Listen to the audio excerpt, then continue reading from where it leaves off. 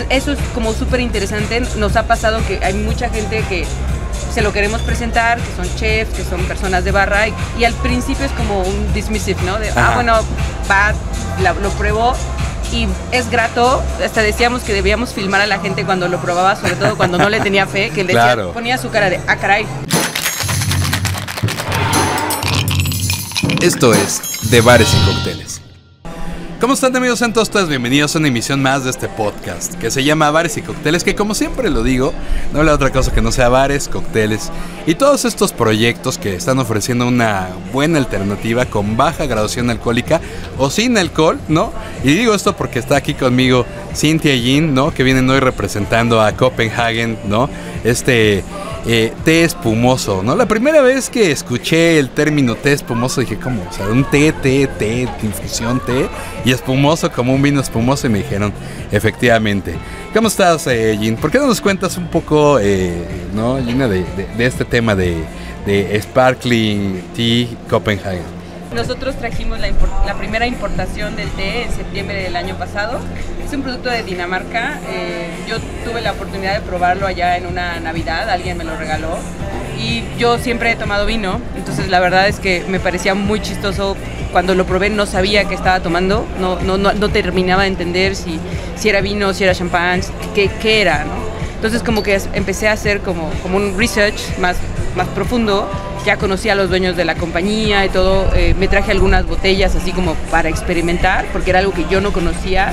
Y este, ya afortunadamente pues eh, nuestra socia Jean ya tuvo como el, buen ojo de, probarlo aquí, de hacer como muchas más preguntas, lo probamos ahí con, con, algunos grupos cercanos de personas, funciona, no funciona, creen, creen que deberíamos traerlo porque al final esto es un clavado. O sea, es un producto que no está ni catalogado en México, que no estaba en el mercado, que nadie nos sabía decir si se iba a vender o si no se iba a vender.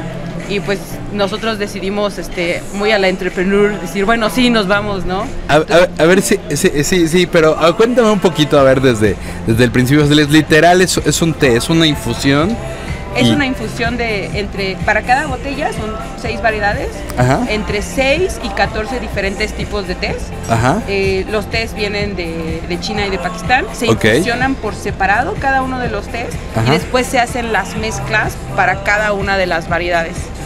Para las de sin alcohol, lo que pasa es que ahí se agrega el CO2 eh, y el CO2 se agrega a tres distintas temperaturas para no romper como las propiedades del té. El, producto más preciado aquí es el té en, particular porque está como súper bien elegido y, el tema de la infusión nos decía mucho el sommelier. Imagíname así tanque por tanque, literal, con un termómetro y un reloj, así, ¿no? De ahora párenlo porque es, es, muy cuidado. Él decía, si un té, si una infusión se me echa a perder, ya no puedo mezclarla. Claro y después agregan el CO2 a tres temperaturas, a 14 grados, a 8 y a 4, para que la burbuja no sea una burbuja como de agua mineral.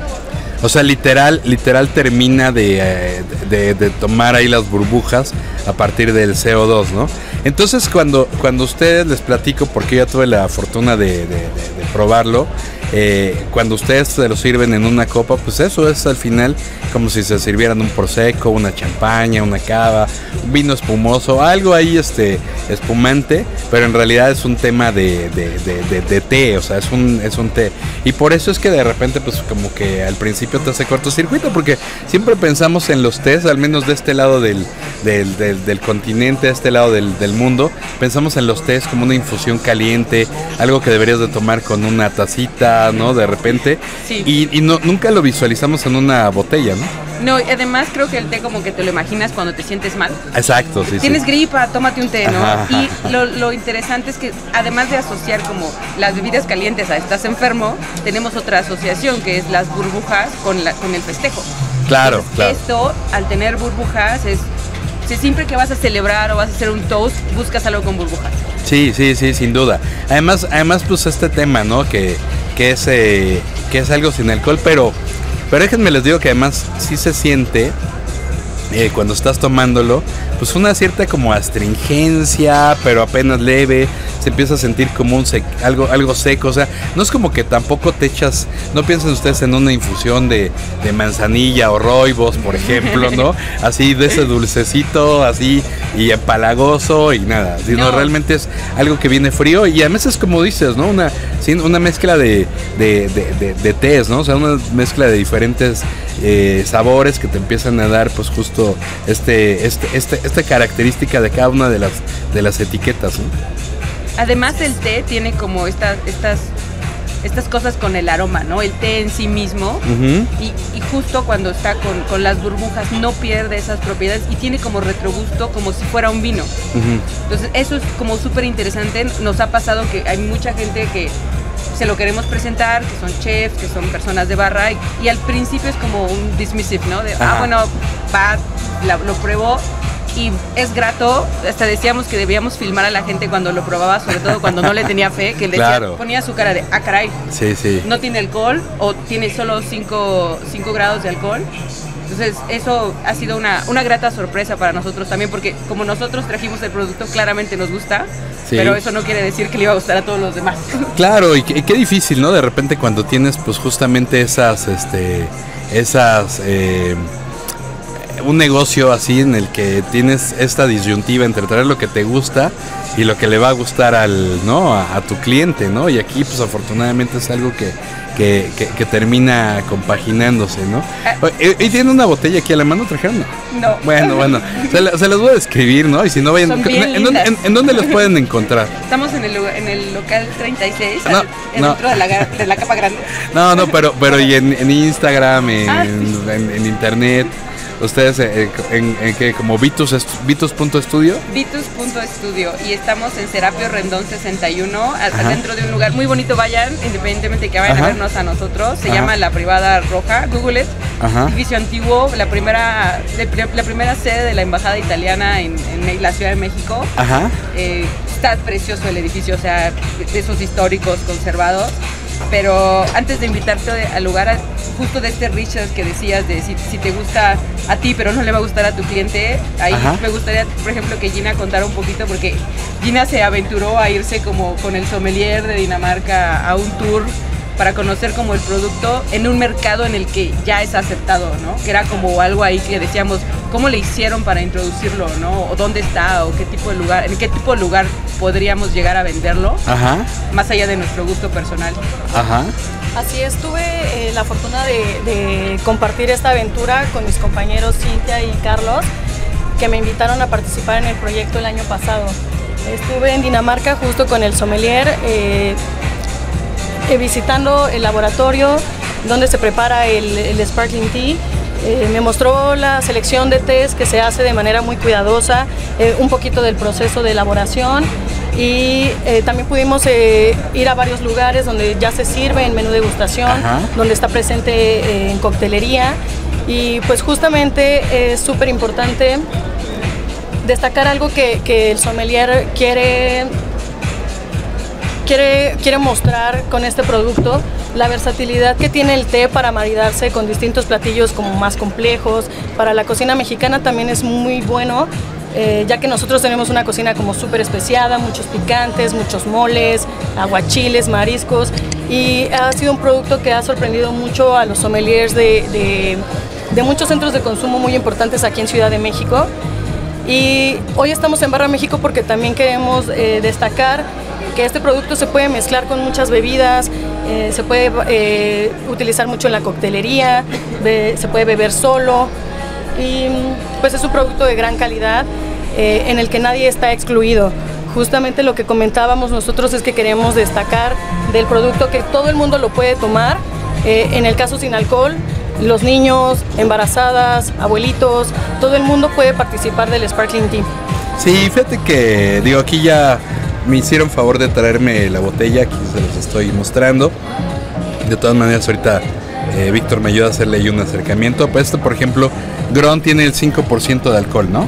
Así es. Este, este, este ¿qué, qué, saborcito, qué, qué, qué características tiene? Pues es una mezcla de té blanco y tés verdes eh, con un poquito de lemongrass. Eh, tiene pues este bitterness como de, de los tés verdes, que es muy propio del, del té verde, como este amargorcito al Ajá. final. Y sobre todo que es muy fresco. La burbuja pues nos ayuda muchísimo. En una tarde como esta, el Sparkling Tea va perfecto eh, para estar en una terracita, eh, en un brunchecito muy familiar o simplemente en una celebración con amigos, en una comida. Y 5% de alcohol es menos de lo que normalmente eh, una bebida así traería, ¿no? Sí. ¿Cu- ¿Cuánto trae un vino regularmente? Pues unos 12 grados más o menos. Eh, pero justo, bueno, hay una nueva tendencia en cuanto a las bebidas alcohólicas y no alcohólicas. Cada día, eh, en mi experiencia de servicio, cada día la gente joven y no joven está buscando más opciones de bebidas sin alcohol o con Claro. baja graduación alcohólica. A ver, me, y me dejan ver el otro. Y ese es 0% de alcohol, ¿no? Así es, Sí. 0%. Este se llama Bla, ¿lo dije Así bien? es. Sí. O sea, no, él tiene un acento ahí de repente, no, de este Son, danés, son ¿no? muy simples los escandinavos, entonces Exacto. el español eso es azul y verde. Ah, entonces este es el, el Bla. Le voy, a- le voy a pedir a Víctor que si me ayuda a ponerlo en la, en la central para que lo, lo vean ustedes, por favor. Y este, y, y nada, y pues vean ustedes, o sea, la, la, la, la, la- la botella justamente pues te da ahí este, este tema, ¿no? Es, es, ustedes lo ven y podría ser perfectamente una, una champaña, un vino espumoso, ¿no? Este, de repente, ¿no? Además hasta se siente bien, se siente sólido. Y a mí me parece una gran opción. Yo en enero claramente hice el Dry January, los 31 días corridito sin una gota de alcohol y de repente pues fue un gran eh, una gran sorpresa y que me acompañó este Copenhagen porque pues ah, de repente quieres este brindar quieres de repente como pues eso compartir con alguien y pues tener estas opciones y siempre te van, te van ayudando. A mí me parece un gran gran gran producto por ejemplo para estos baby showers, para estos eh, gender reveal, habrá quien le guste, quien no le guste, pero bueno, si la fiesta al final, una fiesta con una embarazada en donde todo gira alrededor de esta, de la mamá, de la futura Y mamá. ella es la única que no toma. Y es la única que no toma y todos los demás, ¿no? Ahí están, ¿no? Hasta el bautizo por ahí también, ¿no? Entonces, Claro, creo que pasar. creo que esta es una gran gran opción porque pues obviamente tiene cero alcohol y no y no nos quita este tema de las burbujas del festejo, ¿no? No nos quita este este momento de celebración, ¿no? Y más allá de no quitarte el, momento de celebración, me parece que el craftsmanship del producto como tal es muy, es muy alto. Entonces, eh, es igualmente como para un público que no quiere tomar, ¿no? Independientemente de, de qué esté pasando en tu vida, pero dices, hoy no quiero tomar, pero no quiero estar Claro. relegado a que mi opción es agua mineral con un limón o- algún molido de frutas que alguien va a hacer con un montón de azúcar y, Sí, sí. y que no marida nada, ¿no? Al final, cuando tienes mucho azúcar o mucho limón en algo, pues, si te estás comiendo algo que está perfectamente preparado, mata lo que sea que te estabas comiendo.